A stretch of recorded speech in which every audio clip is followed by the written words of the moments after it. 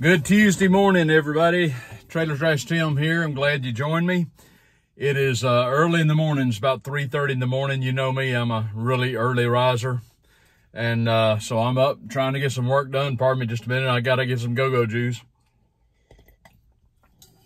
Something is really on my mind this morning that I want to share with you. Uh, and it has to do with the disparity of a couple of uh, situations that have been uh, in the headlines uh, within the recent year around the world.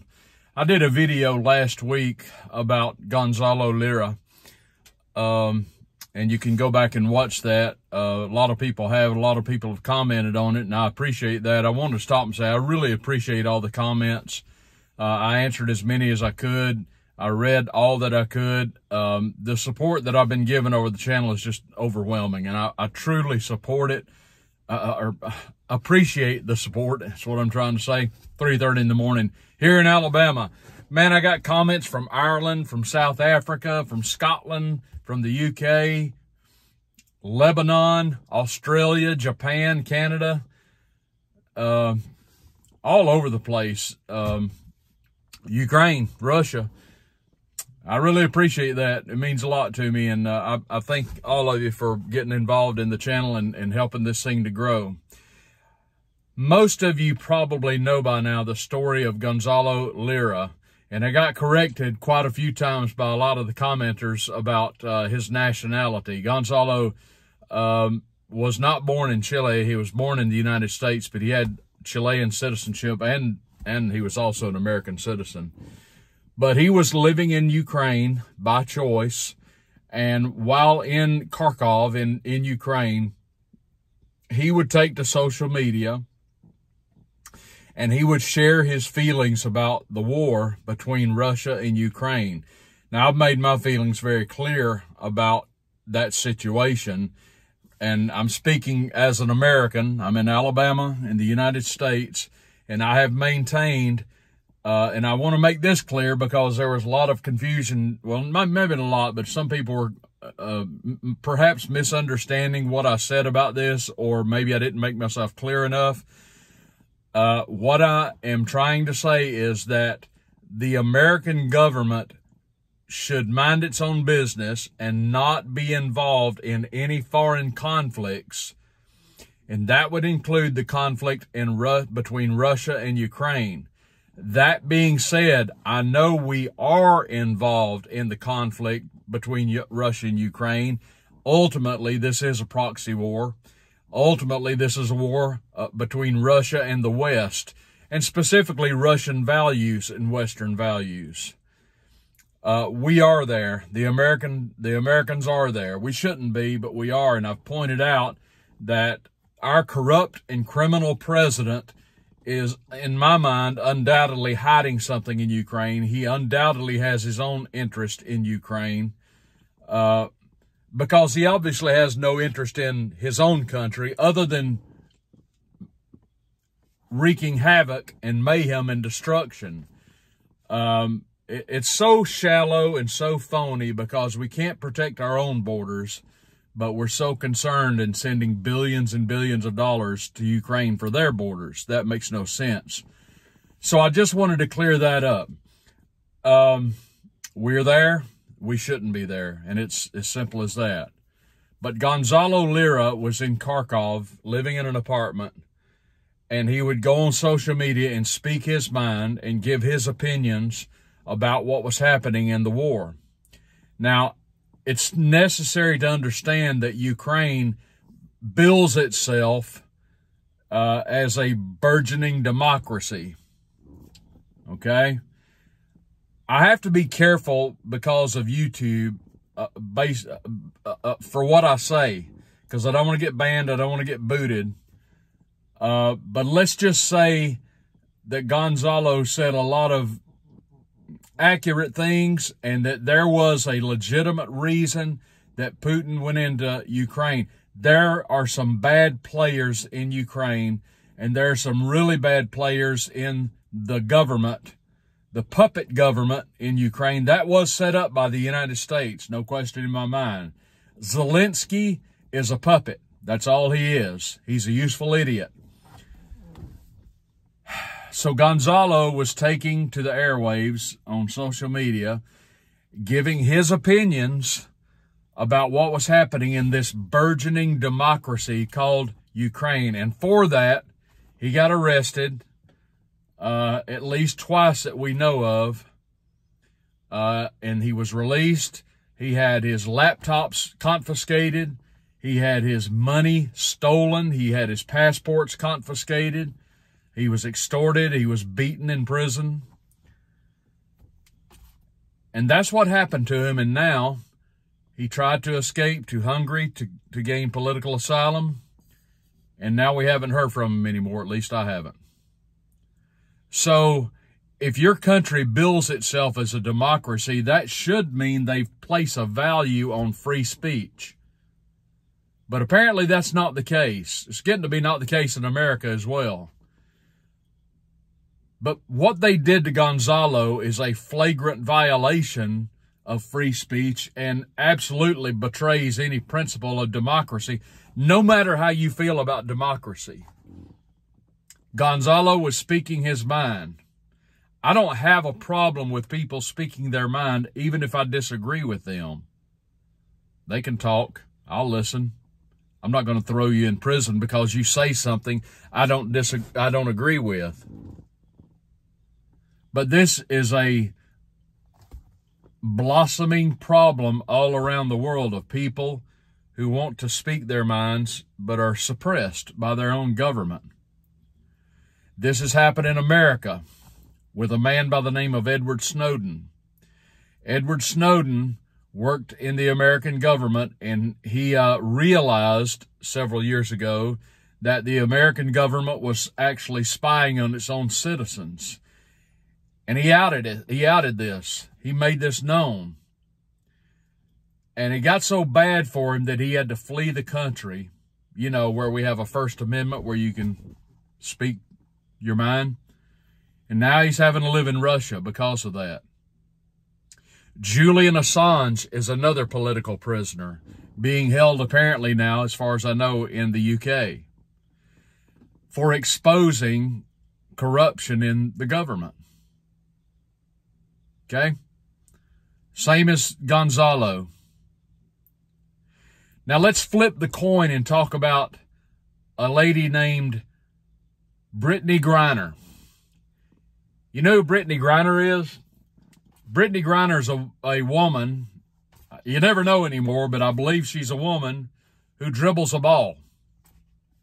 Brittney Griner is an American woman who uh, was a a star in the WBNA, the Women's Basketball League or whatever. I never watch it, don't know anything about it, don't care about it. Don't really care about Brittney Griner, but the fact of the matter is Brittney Griner went to Russia and upon trying to enter Russia, she was found to have marijuana. She had some pot on her and that was illegal. No matter how you feel about the law, it was illegal. And I can tell you this, you don't want to go to any country. You don't want to do any international travel. Come on. With pot on your person. Brittney tries to get into Russia while carrying pot, and for that, she got arrested. Well, hello. Of course you're going to get arrested. And she got convicted, and she got thrown in jail. No matter how you feel about that, that was the law. And because of that, what happened to her was legitimate. She wasn't a political prisoner. She wasn't just over in Russia speaking out her mind about the Putin government or anything else. Brit, the Brittney Griner situation was not a Gonzalo Lira situation. It was not a Snowden or Assange situation. This was a reckless basketball player who broke the law, who broke the Russian law. And for that, she got arrested and convicted. That's the law you know, if I travel to any other nation, it probably is a good idea for me to find out what the local laws and ordinances is so that while I'm there, I won't break them because, you know, I don't want to be in a jail in America, but the last thing I want to have happen to me is go to a foreign country and be incarcerated there. Double the problems, right? Well, where is Brittney Griner today? I'll tell you where Brittney Griner is. She's not where Gonzalo is, and she's not where Assange is, and she's not where Snowden is. Brittney Griner today has been brought back to America because the corrupt evil, reckless, feckless Biden administration got her out of Russia. She was and is an American citizen, and while she broke the law, people like Biden and Kamala Harris, cackling Cami, came to her defense and just called what happened an outrage. And they got her out. They didn't lift a damn finger for Snowden or Assange they haven't lifted a finger for Lira, who is an American citizen, as is Snowden. But they can get no help from their government. None. It is an outrage, an absolute outrage. Now, there's some other things about Brittney Griner that just have to be mentioned. Brittney Griner, uh, you know, we live in, in America anyway, and probably most of the world, I guess. We live in this woke society, and the more woke you are, apparently the more cool you are, or the more socially acceptable she should you should be. Brittney Griner is a lesbian basketball player, and she was greeted upon her arrival back to America by her husband I'm going to lay this on the line right now, and I'm going to lose some people because of this, but I don't care. But I am a traditionalist. I believe a man should be a man and a woman should be a woman, and I believe that marriage is between a man and a woman, a male and a female. It's as simple as that. Sorry, folks, but that's, well, I'm not sorry. That's how I feel. That's what I believe. And because Brittney Griner uh, maintains a woke lifestyle, immediately the Biden administration rushed to her defense because they put people who are woke on a pedestal. Those are our new heroes. So Brittney Griner was returned to America. Putin probably said, fine, take her. I sure would. Get her out of my country. So this basketball hero is back. Even though she broke the law, Gonzalo Lira did not break a law, and we don't know where he is. Edward Snowden, in my mind, is an American hero, but he's having to live in Russia because his country wants him to rot in prison in America. Brittney Griner is no hero. Gonzalo Lira I would say is a man who is a hero to me. He's a brave man who did something I wouldn't have done. I wouldn't be living in Ukraine speaking about against the Ukrainian government, but he did. And now he's paying for it, apparently. I hope not. Pray, and I mean this. This is an Orthodox Christian talking to you, and I'm asking you to pray for Gonzalo Lira. Pray for Edward Snowden. Pray for Julian Assange. Pray for our world. Folks, we need it. Going forward, we have got to find our voice. Not just as Americans, and I speak as an American, but I've got people watching me all over the world. And folks, we have got to find our voice. We have got to let it be known to the powers that be around the world enough of this nonsense. Enough of this. I hope you all are well. I hope you have a great Tuesday. Thank you so much for joining me. A couple of, of uh, housekeeping notes. I now have a link to a thing called Buy Me a Coffee. If my content is valuable to you at all, if you appreciate it and uh, you'd like to show your appreciation, you can link below to Buy Me a Coffee and go there. Buy me a cup of coffee. Let me tell you, I love coffee. No question about that. I drink at least a pot a day, sometimes two.